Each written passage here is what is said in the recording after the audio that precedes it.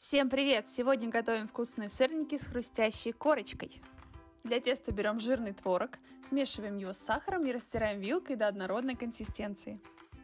Если добиться однородной текстуры при помощи вилки не удалось, можно прибегнуть к помощи блендера, либо протереть творог через сито. Затем добавляем 2 желтка, рисовую муку и все тщательно перемешиваем.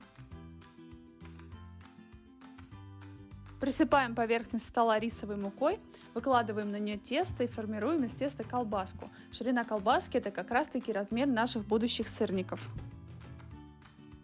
Ножом делаем насечки, благодаря этому сырники получатся одинакового размера.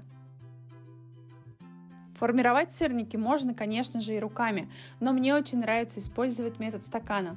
Для этого берем отрезанную ранее шайбу, обмакиваем ее в рисовую муку, и при помощи стакана формируем идеально ровную шайбу.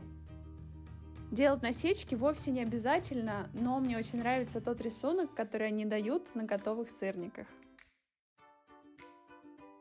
Перед жаркой я еще раз обмакиваю сырники в рисовую муку. Это позволяет получить хрустящую и очень вкусную корочку.